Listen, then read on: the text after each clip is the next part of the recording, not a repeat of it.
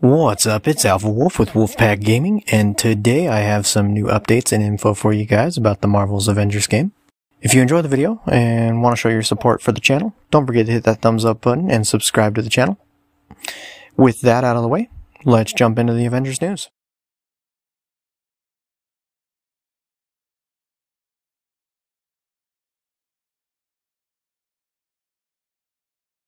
Starting off, I wanted to make sure I let you guys know that the Tachyon Anomaly event will begin next Thursday, April 22nd, lasting until May 3rd. The patch for it will actually go live on Tuesday to prepare for the launch date on the 22nd. It'll also begin the launch of Crystal Dynamics version of animated nameplates. We were shown them during the last developer live stream, and I'll go ahead and show those to you now.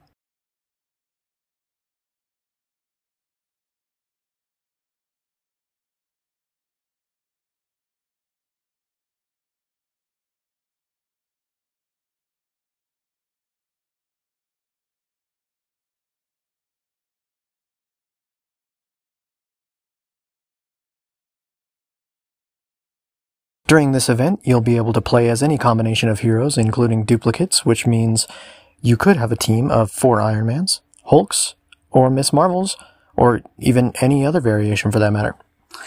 This will also include a new Tachyon mission called And We're Back, as well as lower level Tachyon missions for other people that aren't high enough to do the typical Tachyon rifts. They also informed us that the Red Room Takeover event will also unfortunately only be a timed event, which I personally think is a terrible idea. There's already so little, if anything, left for some of us to do in the game who have been playing it for a while now, and all the new content they're releasing for the game is timed and will be removed from the game after a short period. Bad move in my opinion.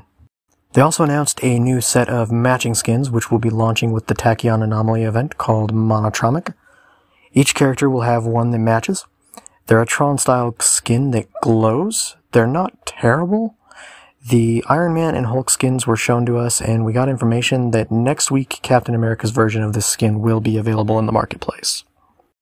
And finally, Sandra Saad, the voice of Kamala Khan, is scheduled to join the stream Tuesday, April 20th to answer fan questions and join in for a special stream with the devs. Uh, so, Sandra Saad, voice of Kamala Khan, we we were talking about you know bringing her on the stream, uh, and it's gonna happen. It is actually happening. We talked to Sandra. She's really excited to be on the stream with us, and she can't wait to answer your questions. It's gonna be a lot of fun. It will not happen on the Fridays though. It's gonna it right now. It is scheduled for Tuesday, and I'm saying this coming Tuesday, the the twentieth, uh, at, at 2 p.m. So because you know scheduling conflicts and everything, and a lot of uh, you know she's super busy, and just the fact that she's making time for us is amazing. She loves us, we love her.